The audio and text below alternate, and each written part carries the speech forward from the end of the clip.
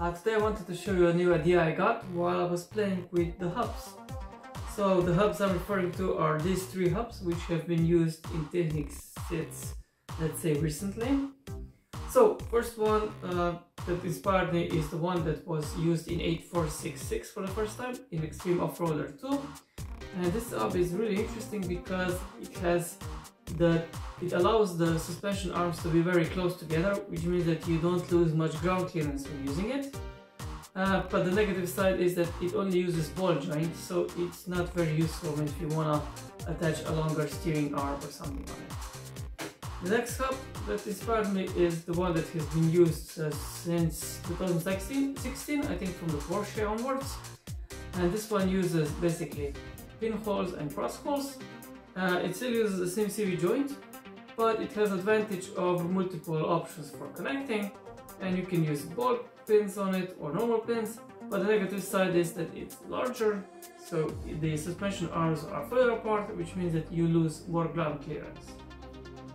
The final hub that inspired me is the one that was first used in 42099, so this is uh, usual now, now usual, it was very new when it came out, is the geared hub, and similar to the one before, uh, the suspension arms are 5 studs apart, the ball joints in this case are integrated, and it has a lot of uh, attachment options here, so you can use a cross hole or a normal hole, and it uses a really nice and strong CV joint here. Uh, in my opinion, it is over-designed for this hub, but it was of course useful later with the Audi's hub, which is ungeared. So the idea is, why not combine the, all the advantages of these three hubs and make my own. And this is what I came up with basically. So first of all, the attachment points are same as this one for the suspension. So the suspension arms are only three studs apart. Next, I'm using the normal CV joint here. While it is a bit weak and it has a limited steering angle, it is very simple to use and there is nothing to go wrong here. It's reliable as long as you uh, keep the torque low.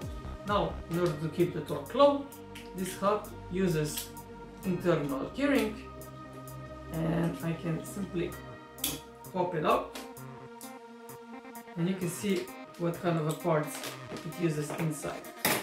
Let's remove these parts. So basically, I wanted to use as many of uh, original Lego parts as possible so I'm using 8 tooth gears as the as the planetary gears.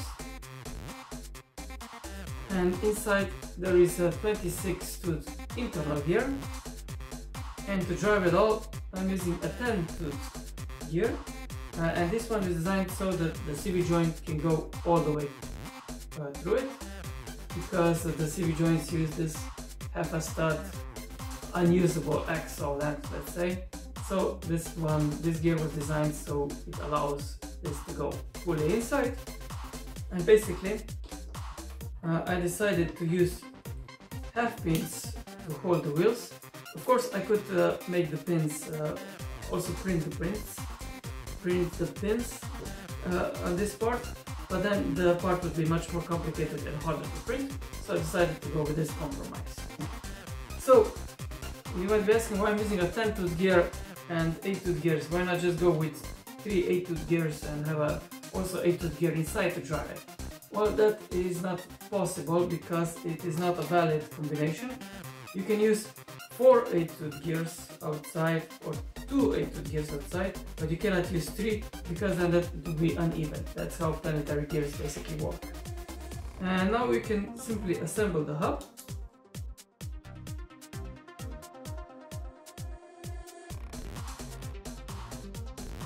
The only thing you have to be careful is to put the gears in proper spacing. So I assembled the hub and put it inside the suspension arm system. So basically the arms are two steps apart, they are very compact and you can see it has the full range of movement. You can go up, down and steer. So the only limitation is the CV joint. Basically the angle of the CV joint is limited around 30 degrees. And now let's put the wheel on. I'm using the newer version with 6 holes and this is very important because the newer ones have a area here which is without an axle hole and that area has to go on the hub first and it pops on. You see we can spin the motor and if we drive it you can see it's very smooth. You can have the whole suspension movement, you can also steer it. So it works really well and it can survive quite a, quite a bit of torque. The only limiting part uh, factor is the CV joint here. This one is prone to skipping, but it only skips at very high torque, so we basically have to stall this motor almost to skip it. And this is a very useful idea I think for smaller models. You can get a very compact uh, gearing down of 3.6 and uh, I think uh, it is a nice idea and if you are uh, interested, if there's gonna be enough demand, I can post STL files so you can try it yourself. Uh, I know this has been a bit of a different video than usual, but I still hope you like it.